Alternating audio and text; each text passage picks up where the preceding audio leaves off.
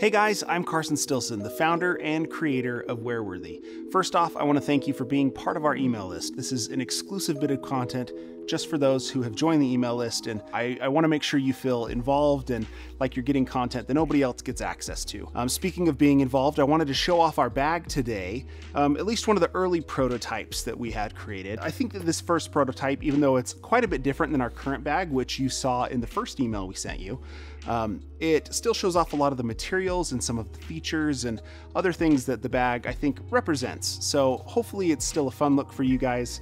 Keep in mind, big disclaimer, a lot has already changed, a lot is going to change, and the final bag will, in my opinion, be much higher quality, but again, I still think that it's fun to keep you guys involved regardless. Um, the other thing I wanted to chat with you guys about was saying, hey, you know, we have some changes that we're going to be making. This probably our next iteration won't be our final iteration. So if you have opinions, and as I show you this, I, have left a poll inside the email below this video for you to take after you watch it to tell us what you think. It helps just let us know if we're going down the right path for something that you would like to have. Without further ado, let's chat about our bag here. The first thing you'll notice is the, the sleek, streamlined design compared to many other flight bags. We took a lot of inspiration from modern military aircraft that have very sleek designs and you'll notice that like certain things are hidden inside the aircraft that are only revealed when necessary. Um, we took a lot from that because I think that a lot of the functionality is inside the bag with some accessibility on the outside. Um, the first thing you'll notice is this, you know, honeycomb textile. I, I'm curious, we actually are debating on whether we want to stick with the honeycomb or go, go with a a more uh, solid black or dark gray color. Um, let me know in that poll that I sent you um, what your thoughts are on the honeycomb, or maybe even going with multiple variants, one featuring this honeycomb or another color for uh, Kickstarter backer awards that are exclusive for time only for, for Kickstarter backers. So yeah, let me know what you think on that. Um, the other thing you'll notice here on top are these two air holes. Um, they're, they're most people are like, what is that for? And then this zipper behind here. This is actually a fuel sump pocket. So you zip this open. Inside here is a rubber liner that is waterproof. So you could use your fuel sump, go fill up uh, and test your fuel, make sure there's no water in it. And you know, even though fuel evaporates quite quick, um, after you dump it, you don't want fuel to be getting into your bag, so you can put your fuel sump away and then still have these air holes to release some of those vapors so you're not stinking up any of the other items in your bag.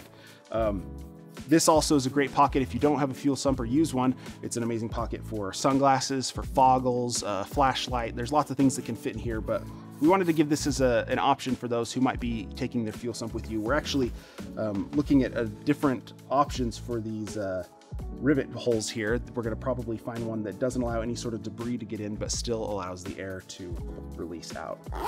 The next thing you'll notice is our handle here. This is uh, the, the main way we're assuming most people will hold their bag is through this handle. It's, it's featuring, you know, the seatbelt nylon here, and it's got uh, bar tack stitching, so it's gonna be really durable, not go anywhere. Uh, gonna take a lot of effort to damage this bag. Um, and then on the back, we have a placeholder. Um, this is actually going to be replaced with a, uh, a machined, uh, pressed out um, back paneling here with a uh, more of a mesh design and cover on this. So you could set it on something and not be worried about it moving or sliding anywhere. And you could even put it like on an airplane wing and, and not be worried about scratching it. So this will be a, a much uh, better looking back in my opinion right now. It's just kind of a placeholder stitching. And there's also these two hidden D-ring holders you'll see this ring here and there's one in here as well that fit a D-ring um, handle so I'll show you this strap right here. So this is a, a strap that you can have in your bag. It comes with it. Um, you'll be able to decide, hey, do I want to hold it with my hand or do I want to hook on my strap and take it with me with a strap and, and have it as a, a, shoulder strap. The strap is super nice, high quality mesh on the bottom, seat belt, uh, nylon here, and then we also have like our logo embossed in this. This is actually a cutout version of our logo. We're probably going to be replacing this with uh, just a, a, printed version of the logo or a slightly embedded version just because we don't want uh, any sort of debris to get in there or these to get damaged. They're pretty durable, but just kind of thinking ahead so nothing of that happens. But yeah, that's uh, that's the back panel. And then if you, again, want to not utilize those, you can just push these in and there you go. They're hidden. So now you don't have to worry about that.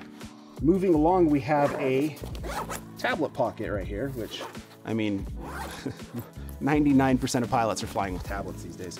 So we'll have a tablet pocket, you'll be able to fit up to an 11 inch tablet. It'll also be able to fit some documents in here. We're gonna be putting some dividers in that allow your documents to remain separate from your tablet, keep them safe. Maybe you're putting IACRA forms in here or your, uh, you know, pilot's test uh, you know, proof showing how, how you did on your, your, your written exam, um, things like that. So it'll be a good little document holder for the back of there.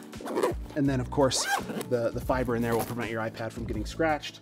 Um, and then yeah, the bottom here, we show another handle. We're actually replacing this handle and we're gonna put a, a, mesh pocket here that you'll be able to, if you want, slide a water bottle into or something so you have something you can have quick access to if you want, um, but when you don't, it's really tied up against this and it's blended in perfectly.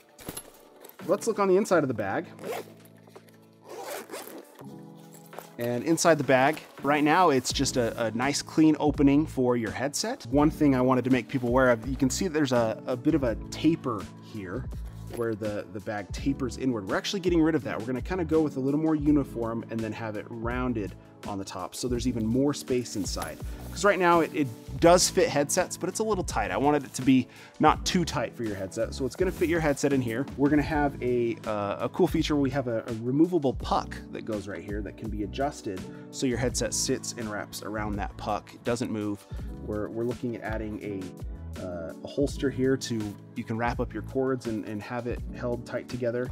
And then yeah this will keep everything safe. We're going to be adding a uh, a stitching to this so it keeps all of this fabric held tight together. Um, on this side you have a slot for your pilot's license or you can also slide like your medical information behind there so you have it always with you.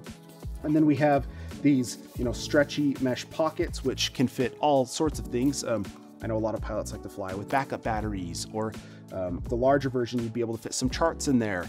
And there you have it, a look at our flight bag, of course, the first prototype. So expect some changes. I'm excited to share the next prototypes with you. Please message us or, or respond to this email. I look at all of them, or you can fill out that poll that I sent and let me know your thoughts. We have some places where you can leave feedback and hopefully help us design an even better bag that fits what every pilot would want in a you know really sleek, unique, and high quality flight bag.